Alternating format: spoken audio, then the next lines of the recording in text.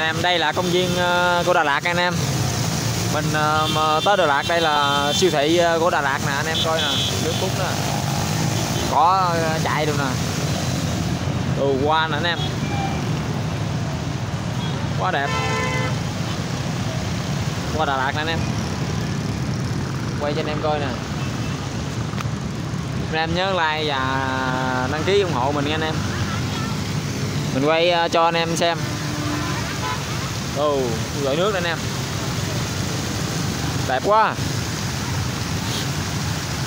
Anh em nhớ bấm nút đăng ký đi, mình sẽ quay những ờ, cảnh Đà Lạt tiếp theo nha anh em. Ồ, quá đẹp anh em ơi. Đường phố xe cộ quá đông. Anh em nhớ bấm nút đăng ký nha. cũng như là ủng hộ cho mình một like đang có mình động lực mình à, quay à, clip tiếp theo cho anh em xem. Tí vậy? Ờ phan. Anh em anh em cùng mình đi à, tham quan Đà Lạt anh em.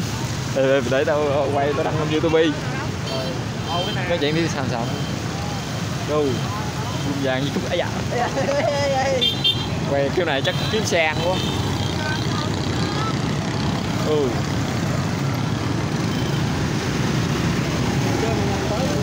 Cảnh Đà Lạt quá quá lì thề.